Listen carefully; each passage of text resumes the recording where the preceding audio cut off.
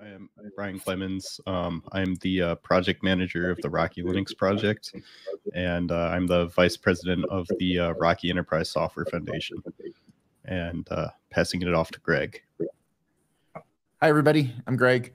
Um, let's see. I've been in Linux and open source for quite a while now um, let's see, ever since the mid to mid to late 90s. Uh, initially started off in in bio and uh, pharmaceuticals, and then uh, made the bridge over into general science and uh, computing at uh, Berkeley Lab, Department of Energy, joint appointment to UC OP, and uh, where I where I help scientists and researchers on high performance computing, and uh, part of a bunch of cool open source projects over the um, since then, including CentOS and um, and if you're in the high performance computing space, things like Singularity, Apptainer, Warewulf, etc.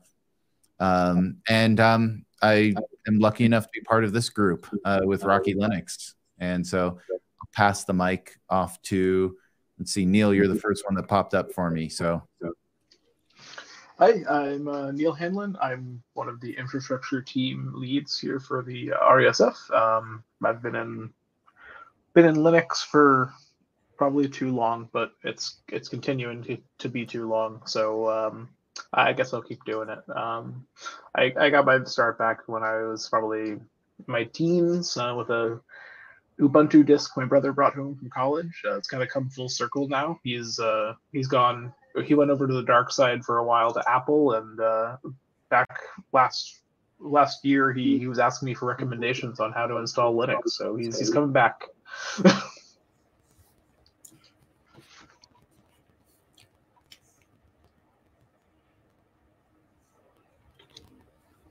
Krista, did you want to introduce yourself?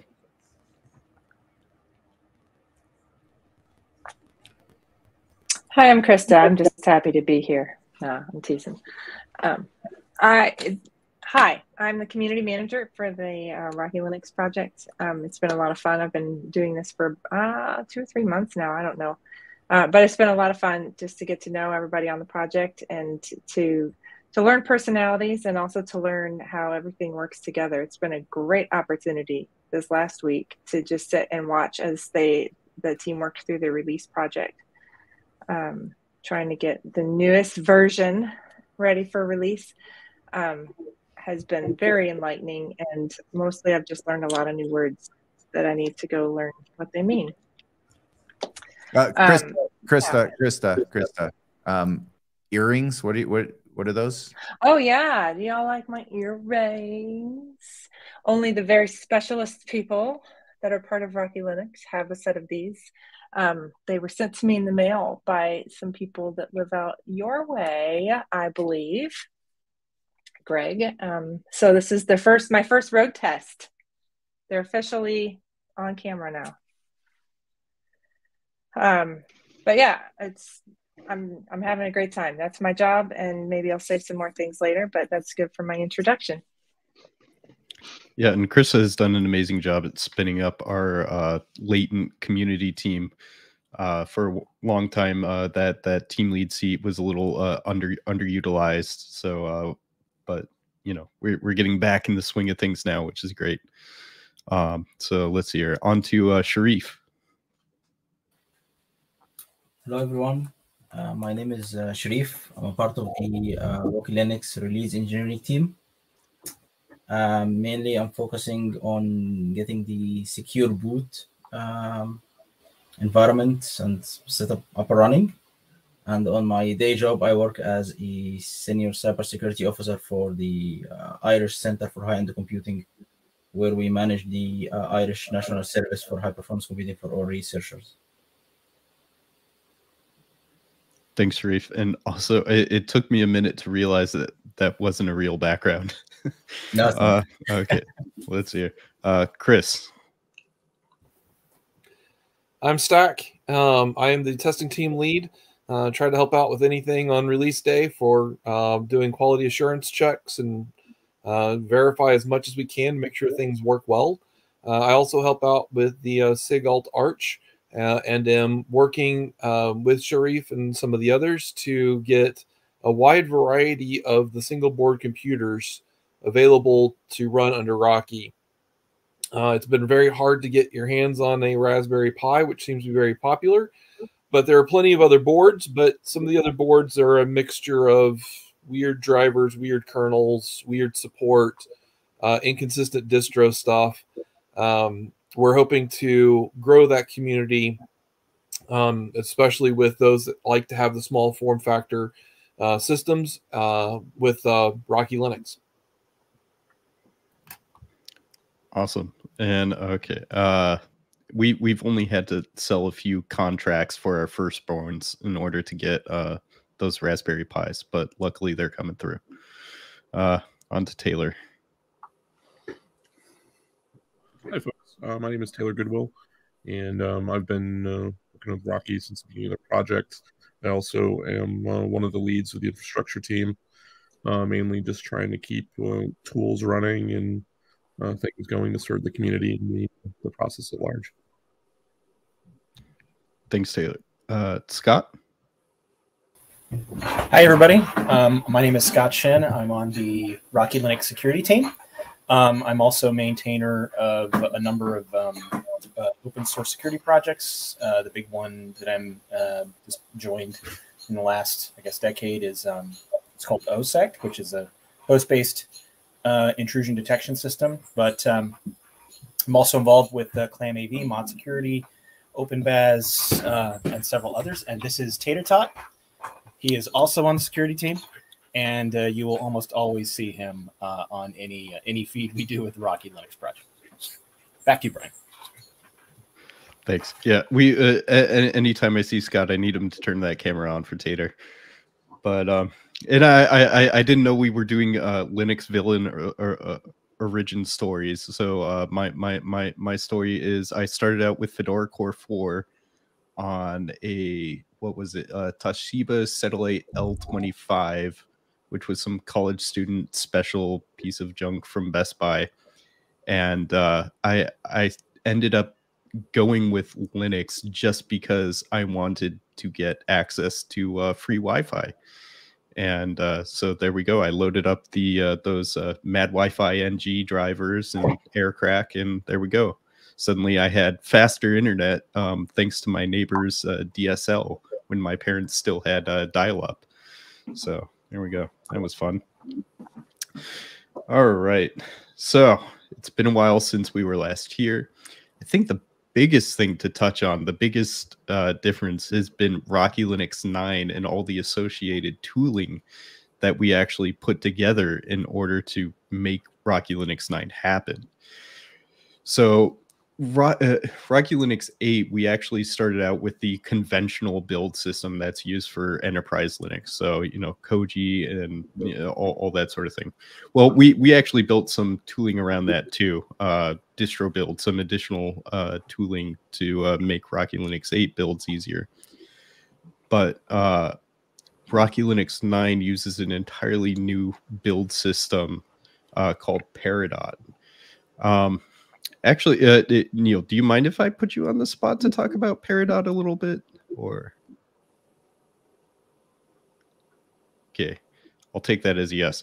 So, uh, Peridot is actually very cool because it, it, it's a cloud native build system. It takes full advantage of the functionality that we have in the cloud. So it can spin up instances to uh, actually, yeah, uh, it, it can spin up build workers and that sort of thing. We also have our build workers in what is it OSU OSL so we can build like some additional architectures. So for example PowerPC S390X um, that sort of thing. Uh, so Rocky Linux 9 was an impetus to really you know create our own infrastructure uh, for building that's actually that actually works for us. We're looking at moving our builds of Rocky Linux 8 to Peridot as well. Um, that work is ongoing. Uh, another, well, uh, before I uh, move on, um, any anyone want to say anything about uh, Peridot? Taylor, Sherif? Wow. Okay. Okay. So moving on another can, big. I, I never. I, yeah, I always talk. So you can always call on me if you need to fill some space. Um, uh, a couple cool things about um, Peridot really was trying to solve some of the issues that early CentOS had with regards to uh, small teams. That was um, really we had to manage the security envelope of trusted keys of, of what we were doing with the operating system. And as a result we we didn't we didn't have a huge you know number of people that we you know quote unquote trusted with with those keys. So the people that built centos was it was always a very small team. Uh, we wanted to always ensure that we had the ability to create a larger more diverse team uh, and people coming into the project. And one of the things that we identified we needed to do is to create uh, a solution for trusted build pipelines and supply chain. And uh, Peridot was built along this line of, of thinking and, and how do we do that better? And as Brian uh, mentioned, it is a cloud native build system. Uh, the intent is for us to be able to very easily and quickly spin it up into um, you know with with just Helm charts, so people can go and reproduce everything that we're doing with Rocky Linux. Uh, one more point I'll just make really quick is that every version of Rocky Linux that we've ever released is completely reproducible uh, from the perspective of everything is based on open source tooling that is freely available uh, and and and community uh, maintain and run.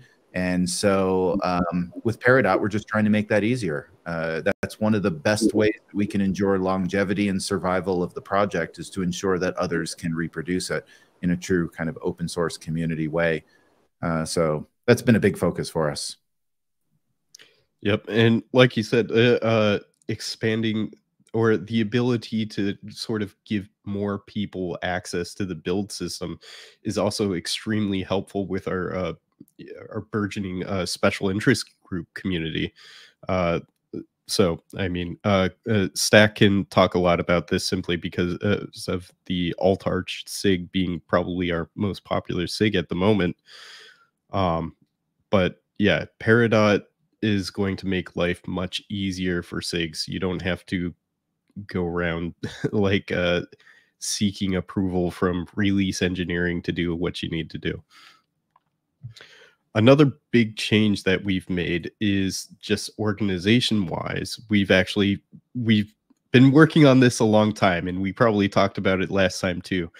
But standing up the Rocky Enterprise Software Foundation as a uh, fiscal host for this project and other projects.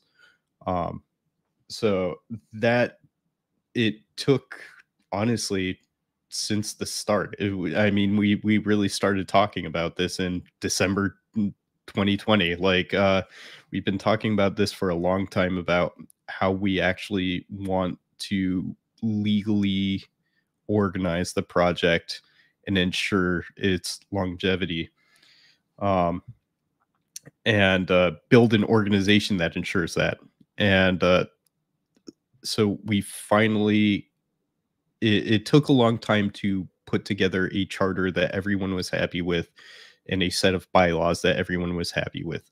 Uh, we've gone through several iterations, you know, we, have gone through multiple rounds of lawyer approval and that sort of thing. Uh, and when we finally got something, we finally got something through. Uh, when was that? When were the elections? Um, no, don't ask me. Time is a ridiculous Yeah. blur. Like, yeah.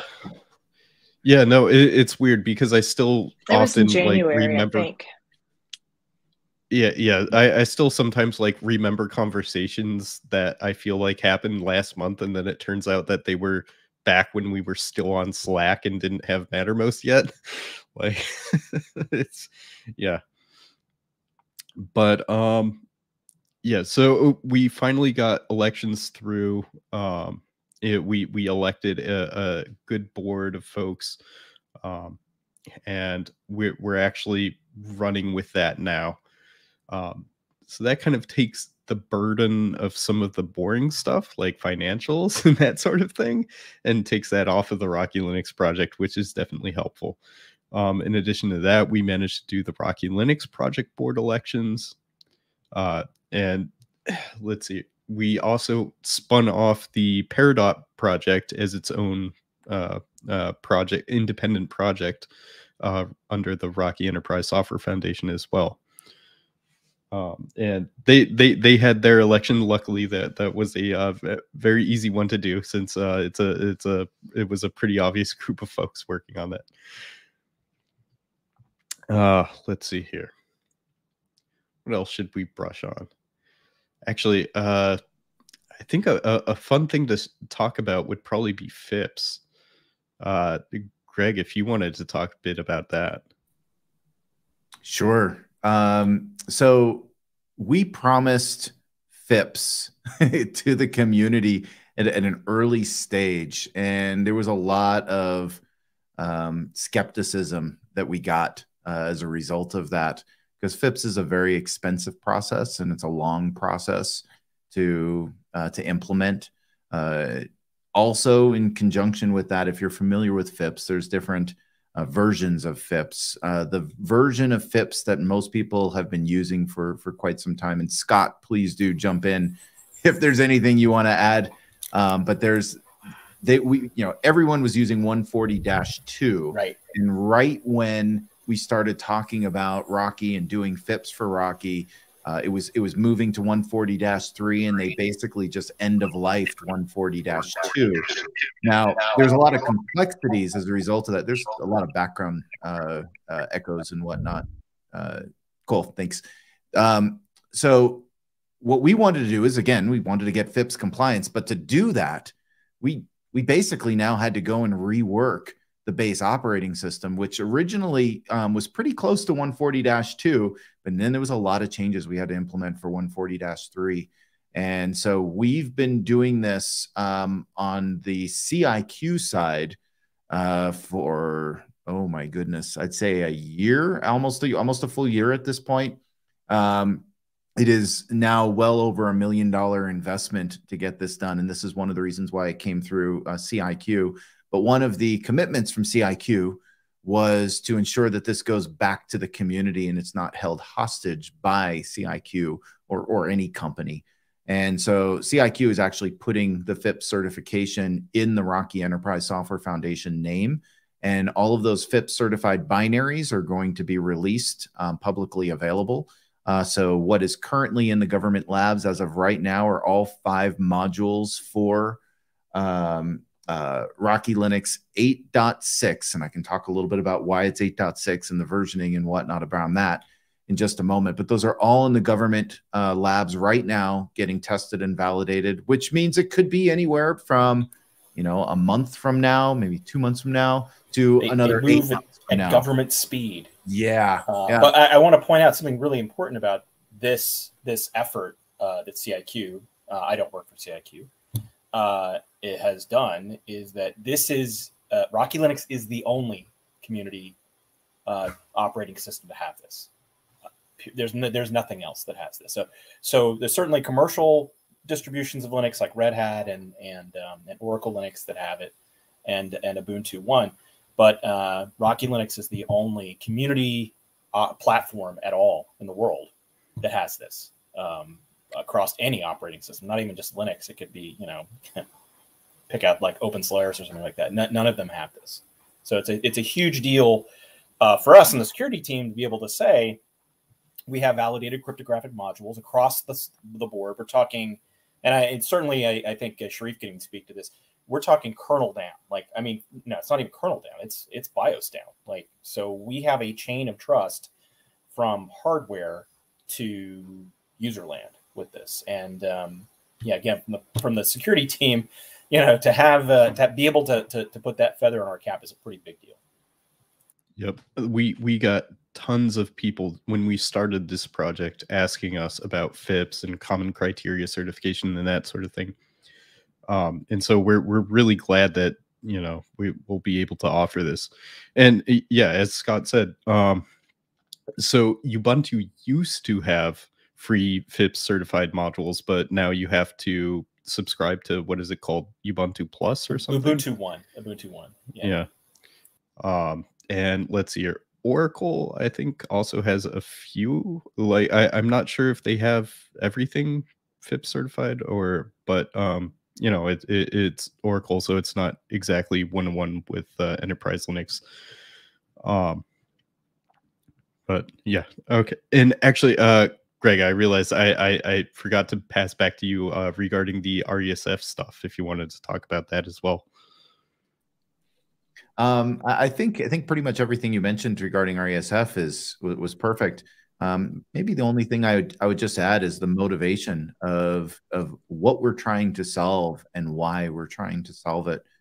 Um, you know, one of the things that when we first spun up Rocky Linux, one of the things that we heard from a number of of organizations and and and people in the community was, um, you know, we want this to be truly community. We do not want a company holding this hostage in in a, in a situation where they could, you know, end of life, you know, an operating system that's that's foundational to a lot of their their infrastructure um, I mean, you know, Red Hat has you know been one of the fan the, the the best open source you know companies, open source supporting companies ever, and for them to do this, you know, kind of shook people up a little bit.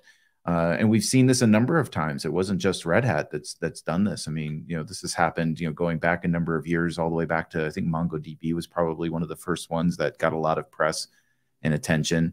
Uh, and even after you know CentOS did this, um, Elastic did exactly the same thing, right? They pivoted the project in a way that um, was no longer open source. So, one of the messages we heard loud and clear was do not let a single company run this and and make sure that this uh, stays free of corporate uh, control and and it cannot be held hostage. Uh, so as we started developing and thinking about this, um, it was a little bit of a pivot, to be to be honest, of how I was initially thinking about it, which was, you know, I have a I have a company, it, it's well funded, and you know we can put in money and invest in this, and this can be under the the, the company CIQ. Uh, very quickly, we decided that would be a a very bad thing to do to the community, and so we CIQ has always taken a non-controlling role with regards to to Rocky Linux, all the way to the point where when we developed the the, the bylaws and the charter for the RESF, it limits any sort of single corporation involvement over one third of, um, uh, of of any uh, people representing a single company on the board. So the board is always going to be free of uh, a single company influence as it's as it is written and as it is executed. So that that's a really big difference. Couple that with nobody, no company can ever buy a board seat. All board seats are merit based. Is also a fairly you know significant differentiator with with other projects and in some cases other open source foundations um, that are out there. Right, we're not selling board seats. There's no pay to pay to control or pay to play uh, model. It is all based on merit and based on uh, people that are involved with that project and with the community. And so this we felt, you know, gave us a really good foundation for ensuring that there's not going to be any sort of negative control of this. And, and the one thing I'll mention is this is this is not done, right? So we're, still we're still working on this. We're still always trying to make this better. Um, at the moment, uh, this is this is not um, a done thing by any means. But one of the things we said early on is, you know, we're going to investigate even becoming a um, a, a you know a tax or non um, uh, what is it called Ta- uh, um, nonprofit. Sorry, becoming a nonprofit. And does that actually also solve the needs of what it is that we're trying to do? Now, historically, I have not been of the opinion that nonprofits do a great job of protecting open source communities.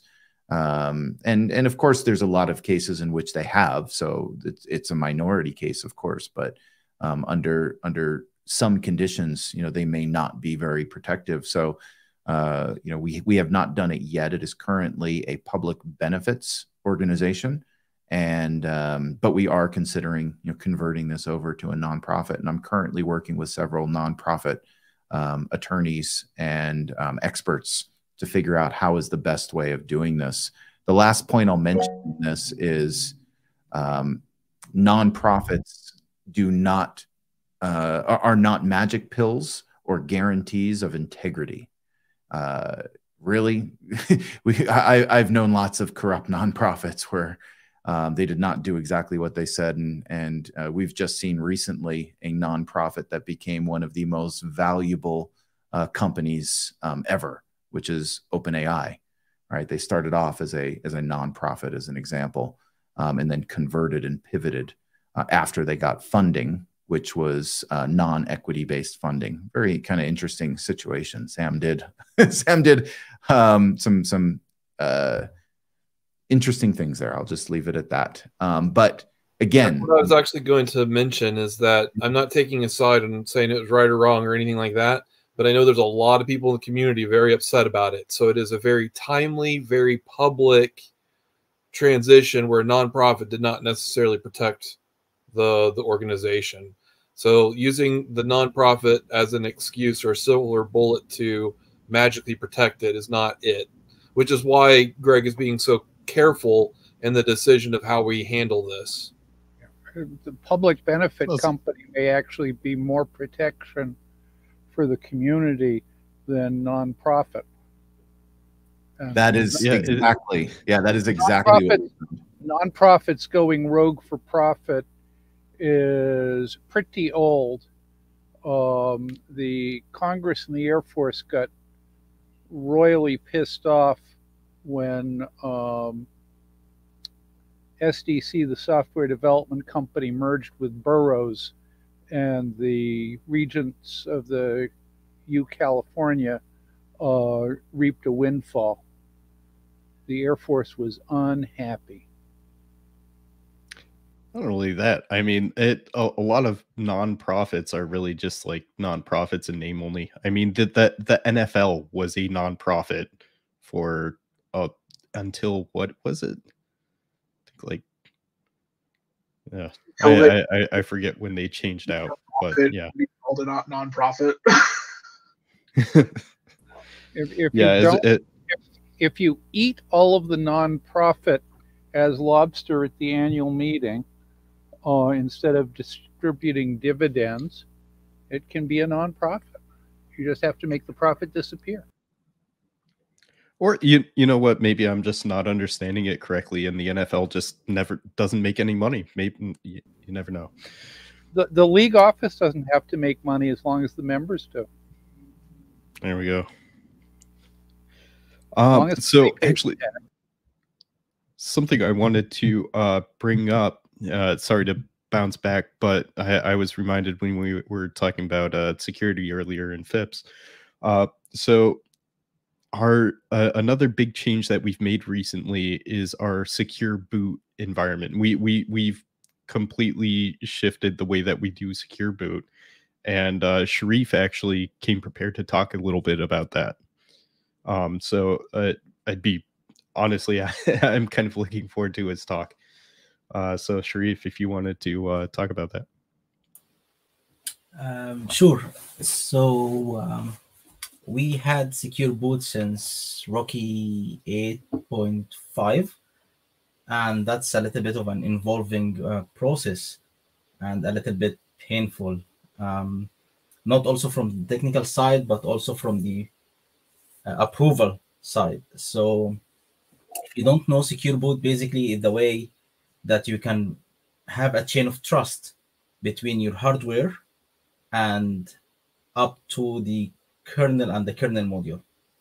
So the BIOS or the firmware of the hardware will have a, um, well, something which we call platform key, which is coming from your vendor that sign a special key that called um, uh, KEK that signs a database that includes two certificates that are mainly Microsoft and some hardware will have an Ubuntu certificate. And, and, and this was a requirement from um, Microsoft uh, when they release, I think, Windows 7, that they need to have to make sure that any operating system will run need to run in a secure boot environment if you need to enable secure boot. And, and, and, and so the Linux community came together and you wrote something called shim, which is like a very early um, uh, boot stage.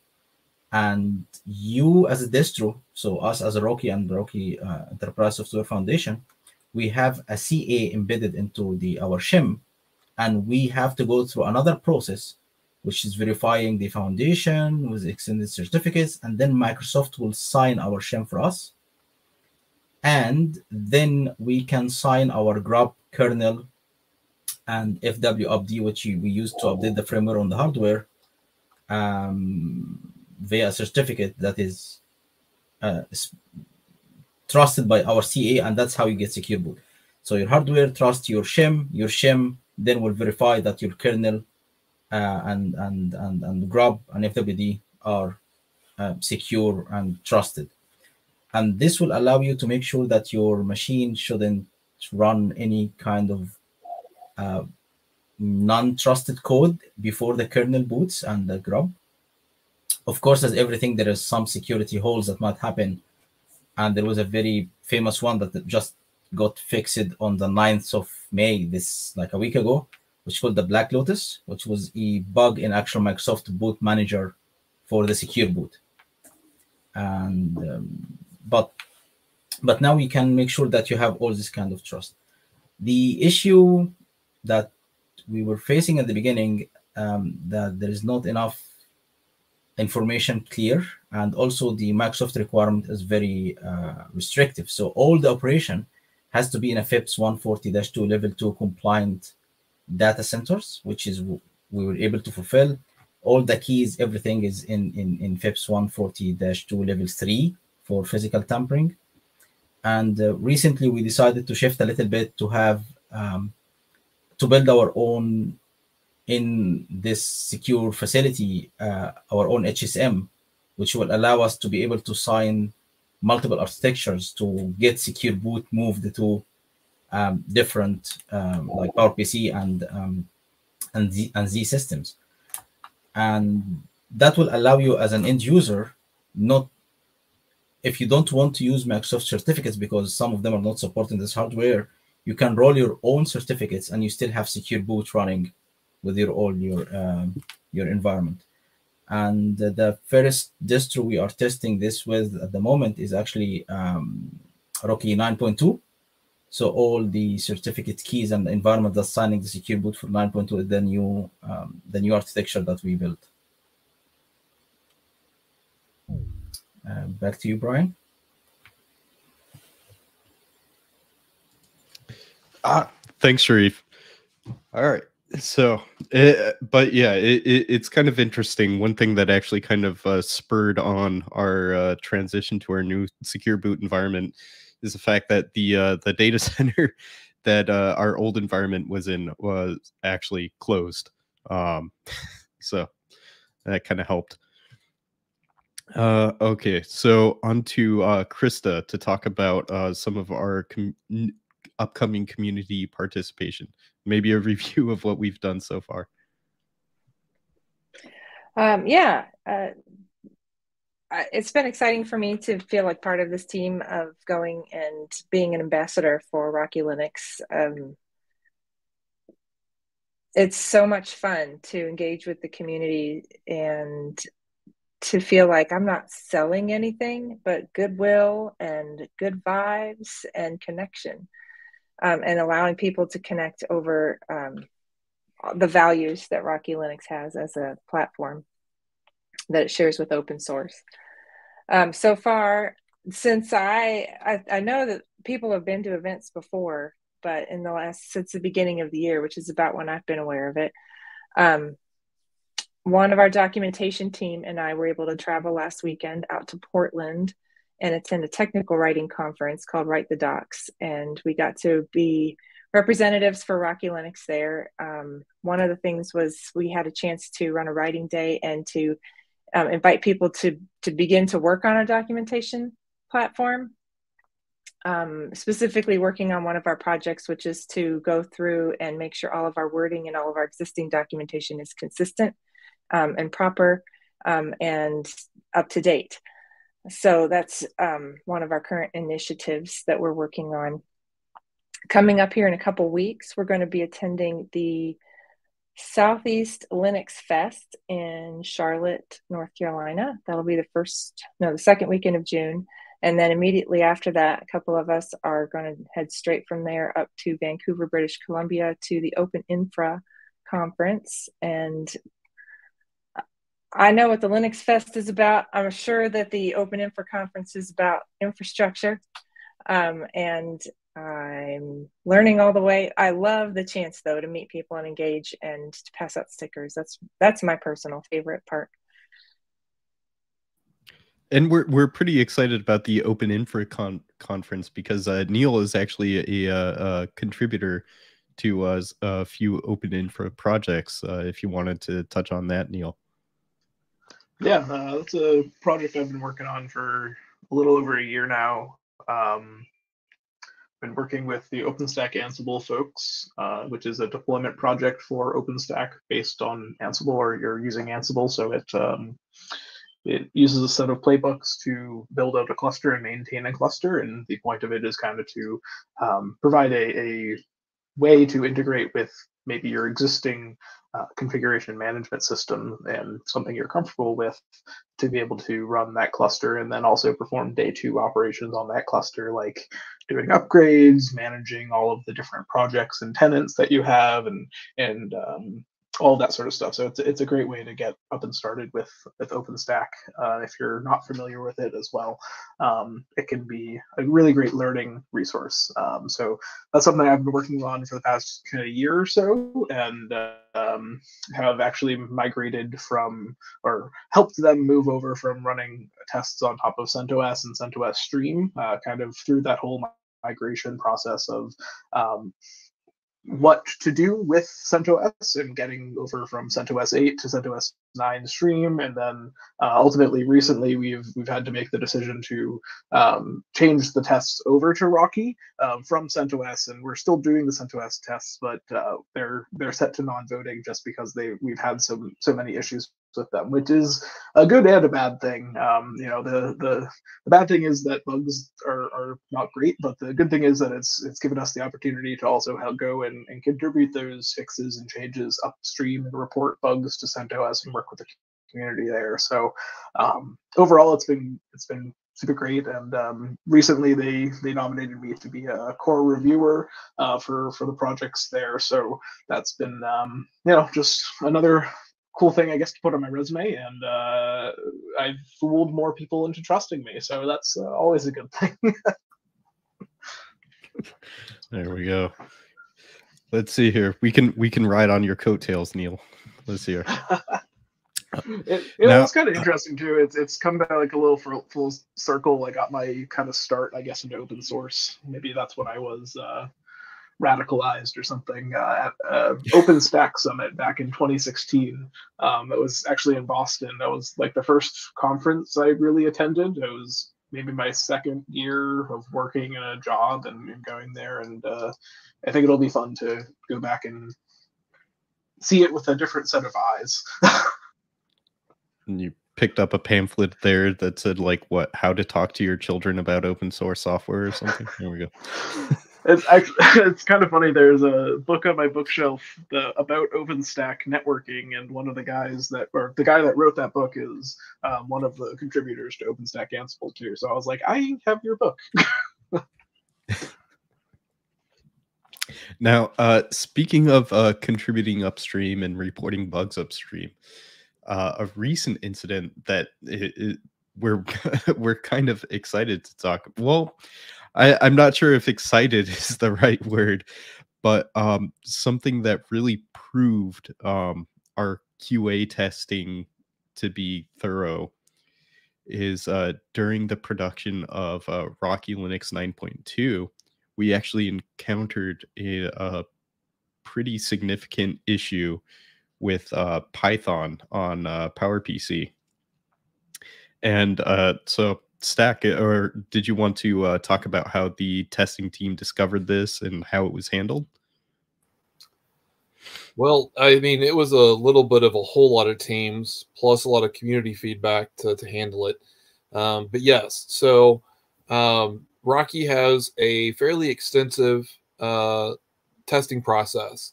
Um, and uh, you know, there, there's a lot of trolls out there that immediately will jump on and say, "What you're saying? Other projects don't test?" No, what I'm saying is we go overboard. we do a lot because we don't want to break things for our user base. Um, and so we test a lot of known configurations that have caused problems in the past.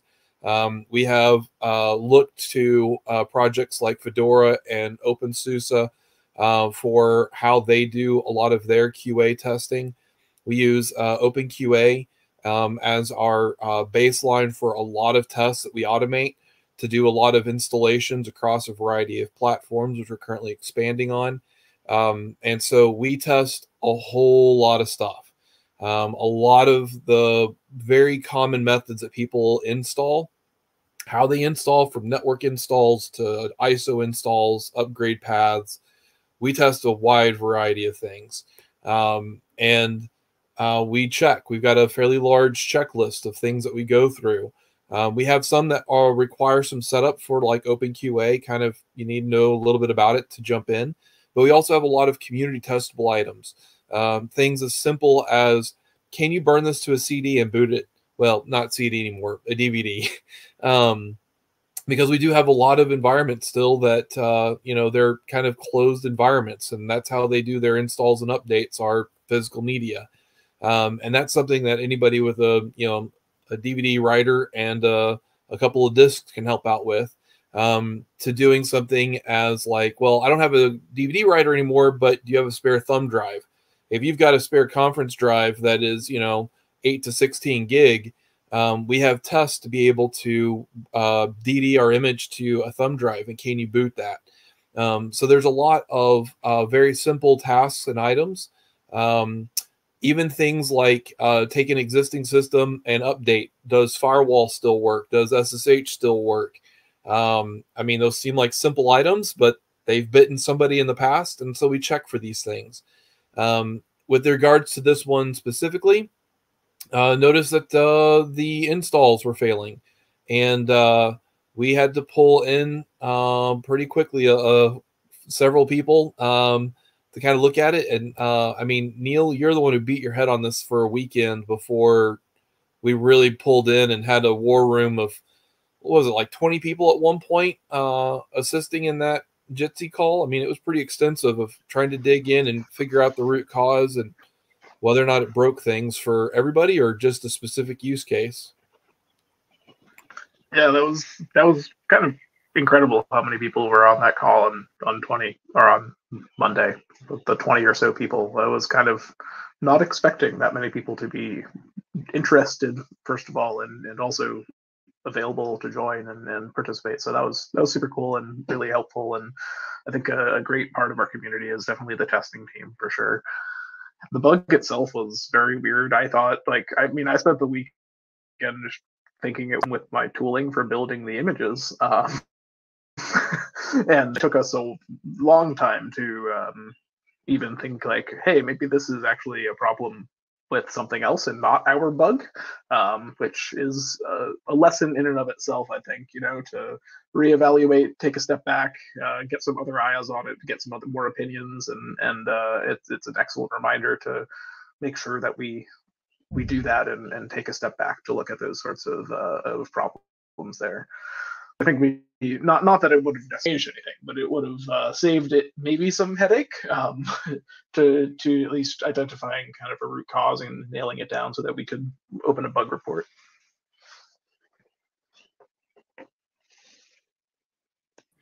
But yeah, we're we're very proud that our uh, QA team managed to catch that. Uh, so our releases might come out uh, maybe a little slower than other projects, but it's because of this extensive testing.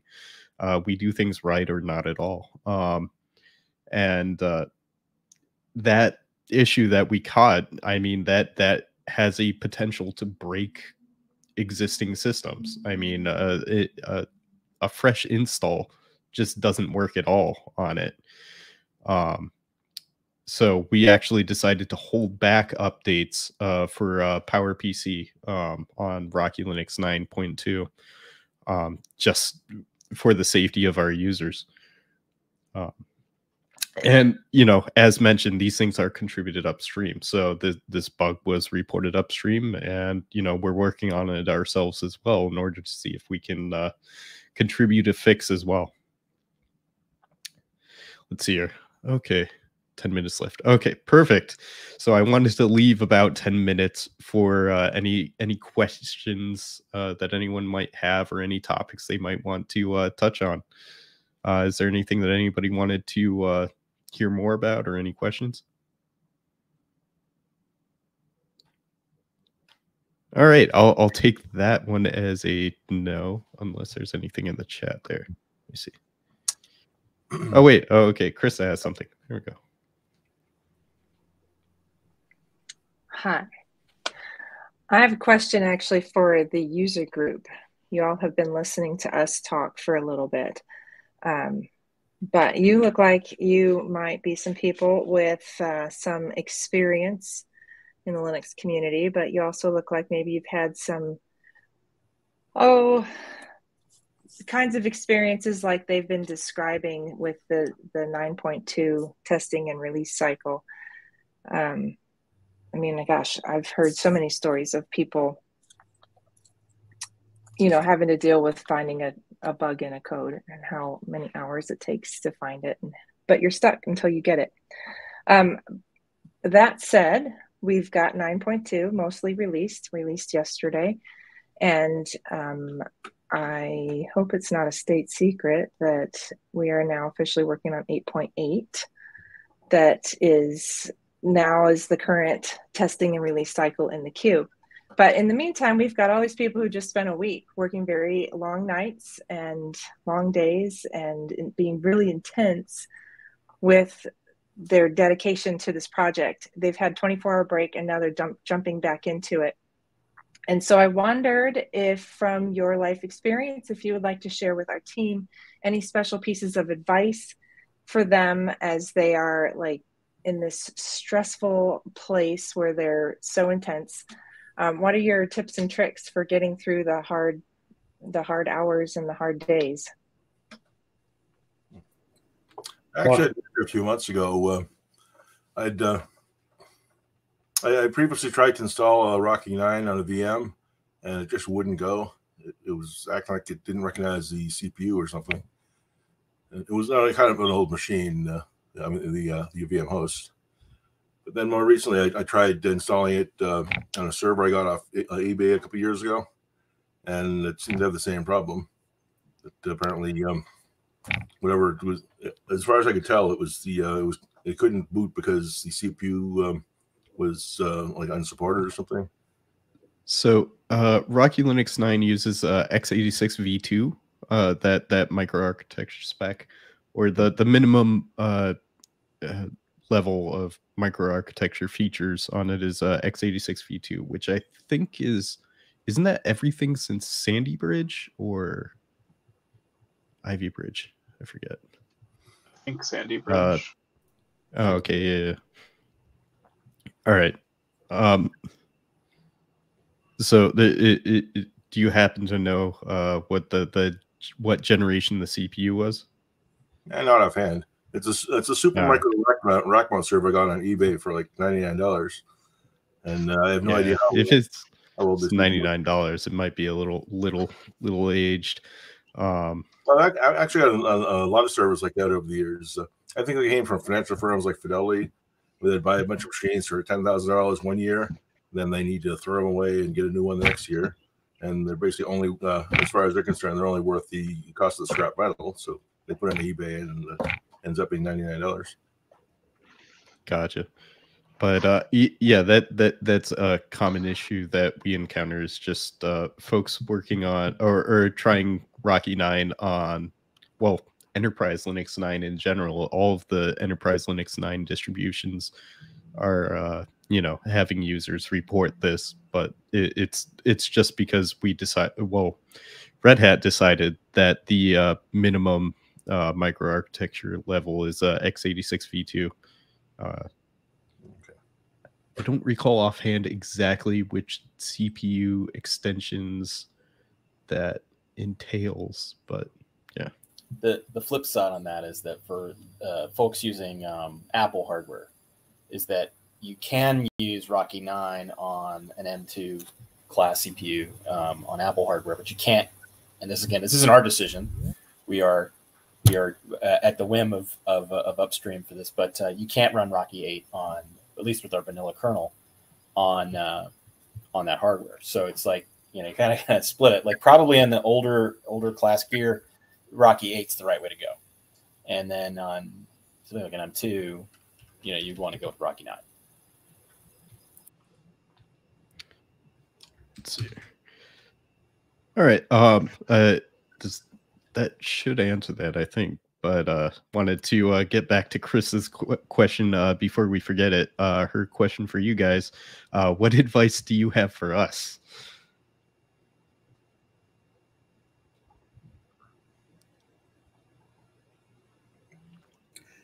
Not sure, but I want to retrograde a little bit. I was uh, pretty excited about the FIPS discussion. Mm-hmm. I once worked at a uh, encryption company that made radios and stuff like that, and for key exchanges, we used FIPS and had to use commercial Linux. This was, I think, before commercial Unix. This is before uh, Linux came out. I think it was the 1980s. So I've, I've got some experience in FIPS.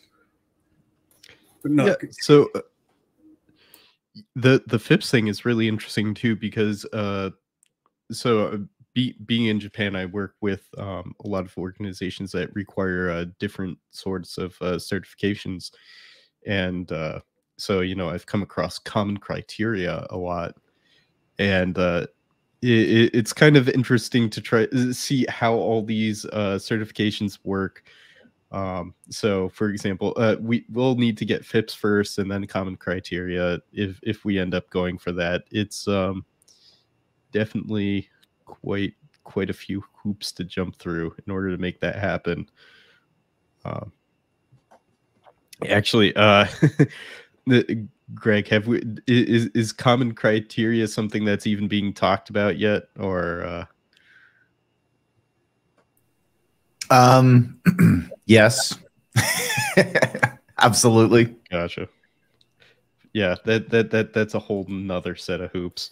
The the one we're in the process of working on right now is a standard called 800 uh, 171, which is which is effectively uh, an operating system producers certification to, in this case, the federal government, basically uh, going over our processes. Like, how, how do we, the RESF and the Rocky Linux um, in general, like, how do we operate? Like, how do we create a software uh, supply chain where, you know, effectively we've got separations of privileges and all sorts of very, very probably boring things like that, that, that ensure that no one person could poison the chain and how do we how do we defend against that kind of stuff so that's the, probably the the next one on our on our radar. Although I'll be honest, the the FIP certification is such a big deal because it's going through every single cryptographic module we have, all of them, uh, and it is if you know in terms of being able to do this effectively, to, do effective uh, encryption like this, it involves hardware, it involves software, it involves you know cryptographic modules, it involves the way that we do things in userland it is a hundred percent an operating system thing. I mean, you can't really just do it in one little piece and be done. This is a huge, huge project. Um, I'm excited that we'll that we're doing it because it's I've I've done these before in the past, but never for a community pro, uh, project like this in my life. And uh, just just addressing uh, John's question as to whether HPC is a focus for us um, in the chat there. Uh, so actually, our, our roots really are uh, HPC. Um, the Rocky Linux project started in uh, HPC NG, um, and uh, I actually I still feel kind of bad about that because uh, we we blew through. Uh, they they were using a free Slack instance, and uh, Rocky Linux got so much attention. We got I don't know. I think we got like 2000 users or something in like a month or, or like in a in a week It, it was it, it was something crazy. It was so HPC oh, had about a thousand users before we before we started with Rocky Linux. Um, by the time we left, it was well over ten thousand. Oh God, yeah. So it it was it was kind of crazy, and just the enormous amount of uh, message traffic completely blew away all of their chat history because the free uh, free Slack server has like a chat history limit, and it was so bad that they would like post a message one day and just not have it the next day because we were just blowing through the uh, the chat history that quickly. Um so yeah we were uh, we were definitely irritating the uh the the the hpcng folks. Um but luckily we moved to mattermost what was that? It was wasn't that just one month? I think we moved to mattermost in january or at least that's when we started playing with it yeah yeah i think that was uh, january 21 to the point you mentioned yeah it, it you know, we had so many people joining. I think a lot of people just messaged me directly. And the list of unread messages that I had, it took me hours to go from one side to the next. And it got to the point where, Brian, to your point, where I see I have an unread message. I'm it's a direct message, and I go there, and it said you have already surpassed your ten thousand, you know, messages. Um, so go get a professional account if you want to see this message. So I was like losing messages even before I can get to the message. Uh, it was it was a crazy situation then. Um, yeah, it was it was it was busy.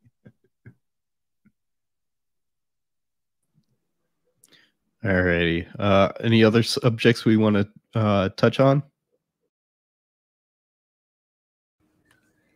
Yeah, one question that I had, and I think there's been a little discussion on it.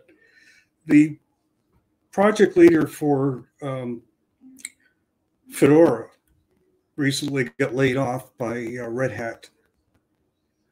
And I'm wondering, actually, someone, Ed was really wondering to me if that is going to mean that Red Hat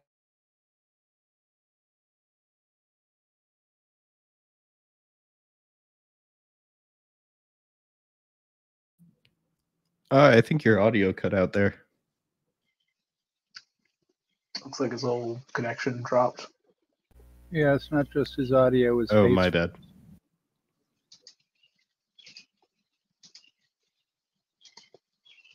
And this is connection lost to his name. Oh, okay. Well, he, he followed up back. in the chat, uh, a- asking whether Red Hat would cut Fedora loose. Which uh, not sure if that's something that I can speculate on. To if anyone else wants to, though. No, that was Ed in the chat. Love to speculate. I don't think it's good to speculate. Yeah, There's plenty of people doing that on Reddit yeah. right now, and they can exactly speculate, but that's not really our thing. I, I think what we can say, at least, is what Matt himself has said. Like Fedora has existed for before him, and it will exist after him. Um, like he's that's what he's said publicly um, and i think that's largely true it's it the fedora is a product of the community there's some nuance to that in terms of like what actually fedora is right but it, it is the community and i think that I, I, personally i don't think that red hat would would do that um, but that's just me um, whether it will affect Fedora, I think that we're probably in, in an okay place. Yeah, I mean, there, there's been plenty of people that predicted the demise of Fedora before, and it's never happened. So let's see. Seems we're taking Jerry an awful long time to reconnect. All right. Uh, until then, uh, anyone else have something?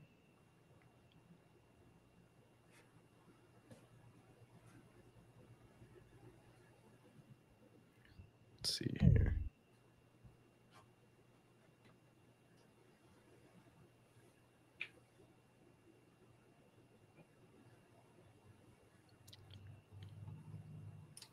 All right. Well, Uh, if uh, nobody else has something, it was definitely a pleasure uh, being here again. Really glad to see you guys. Um, it's uh, it, it, it is kind of funny though. Uh, I didn't realize exactly how much changed until uh, uh, thinking about what until attending this made me think about what has changed since we were last at this group. Uh, it's kind of crazy the speed at which things move here. Yeah, it looks like Jerry reconnected. Well, thanks, guys. Yeah, I, ah. my system locked up. Uh, please, please don't say you were on Rocky. I was just about to ask the same thing. I was on Rocky. no, oh no, I was on Fedora. All right. So, uh, it, what what were you uh, asking before uh, you, you got uh, disconnected right in the middle of that? Yeah, uh, recently the project manager from um, who manages Fedora was laid off from Red Hat, and I was wondering if the um, if there was a possible problem there. It, it's a sign that maybe Red Hat is going to stop supporting Fedora down the road. I mean, we're not going to know that, but I'm just looking for some opinions there. Ah, gotcha. Okay, uh, we just uh, brushed on that uh, a little bit, but it, it's just not something that uh, I think we're we can really speculate on. I mean, uh, yeah. Plenty of folks have predicted the demise of Fedora before, and it's just not. I, I don't yeah. think it's in the cards. Mm-hmm. Yeah. Okay. All right. Um, uh, it, did you have anything else before we wrap up? Nope. All right. Sounds great. It's definitely great being here. Um, look forward to talking with you guys again sometime. Well, thank you very much. Thank you, everybody. Yeah, thanks. Thanks, everybody. Bye bye. Thanks for having us. Have a good one. Bye bye. Bye. Thank you. Bye.